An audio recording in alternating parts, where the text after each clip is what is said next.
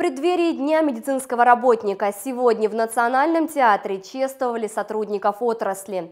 Со сцены прозвучали слова благодарности врачам, медсестрам, фармацевтам и всем представителям этой профессии.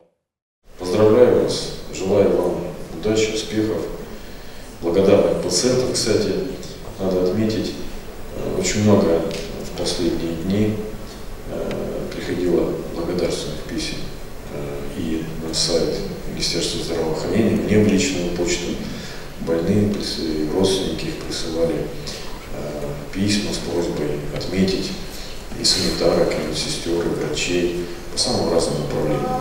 Поэтому еще раз низкий вам поклон, удачи, успехов и всего самого наилучшего. Ну и награды.